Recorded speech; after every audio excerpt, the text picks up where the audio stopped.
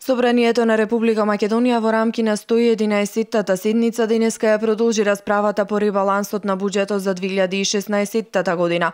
Пратениците ги повторија ставовите. СДСМ нема да го поддржат ребалансот на буџетот обвинувајќи актуелната власт дека ги осиромашила граѓаните и дека се уште ја задолжува државата.